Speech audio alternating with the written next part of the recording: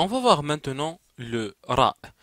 Juste, le Ra, c'est juste ce symbole que vous voyez, c'est celui-là.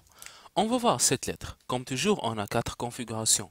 1, 2, 3, 4. On va commencer par utiliser la voyelle a sukun. Quand tu utilises a sukun, Ra devient tout simplement R. R. Donc, en effet, il y a une différence entre R, c'est ce qu'on va voir après, c'est R, c'est exactement l'équivalent de R. R. Ça, c'est R. Mais ça, la différence entre ce R et ce R, c'est ce R, c'est le tout simplement le R anglais. C'est comme quand on dit remote en anglais, euh, control, remote control par exemple. Donc c'est ça la différence. C'est-à-dire en anglais, il ne veut pas utiliser ça. Et il y en a des Français, en effet, euh, qui en effet prononcent quand ils voient en effet des R en anglais, ils les prononcent, par exemple, ils disent remote control. Alors qu'il faut dire en anglais remote control, remote. Donc, c'est ça en effet la différence. Donc il faut faire attention, s'il vous plaît, ce symbole-là que je viens de de, de, vous montrer là celui-là, c'est tout simplement le R anglais. Donc, je vais en effet dire ici R et je vais ajouter A pour dire que c'est tout simplement R anglais.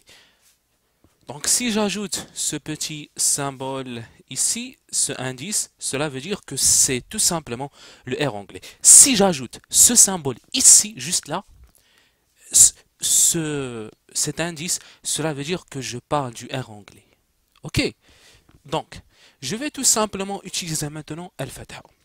Donc, quand je vais utiliser Al-Fatha, cela va devenir tout simplement, ça va devenir Ra. Euh, juste un truc. Juste un truc. On va être d'accord. Je vais pas ajouter le A pour dire. Parce que là, quand j'ajoute le fatha, ça va devenir Ra. Donc, je vais tout simplement utiliser de R. Quand j'utilise de R, cela veut dire tout simplement R. Donc, j'utilise tout simplement deux R. Donc, pour différencier entre le R français et le R anglais, pour l'anglais, je vais utiliser deux R. Pour le français, je vais utiliser un, une, une seule. Donc, je vais utiliser maintenant Al-Kasra. Quand je vais utiliser Al-Kasra, celui-là va devenir tout simplement Ri. Quand je vais utiliser Al-Damma, de cette façon-là, ça va devenir tout simplement euh. Donc, ra, ri, ro, r, ra, ri, ro, r, ra, ri, ro, r, ra, ri, ro, r, ra, ri, ro, r, ra, ri, ro, r, ra, ri, ro, r, r, r, r, r, C'est-à-dire, comment, comment vous prononcez ça? Vous montez, vous montez votre langue au-dessus, juste au-dessus de, vos dents qui sont en haut. Ici, dans, cette partie, dans cette, dans euh, là qui, est là. Et puis, vous dites c'est de cette façon. Donc, ra, ri, rou. Donc je vais vous effacer un petit peu ça pour vous tester un petit peu, juste un petit peu. Voilà. Celui-là. Oui, oui, oui. Répondez, celui-là.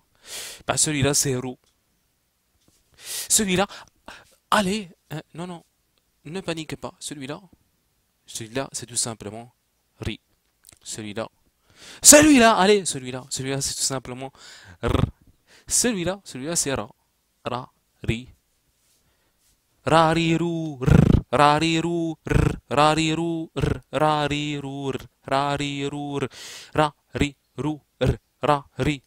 r, rariru, r, rariru, r.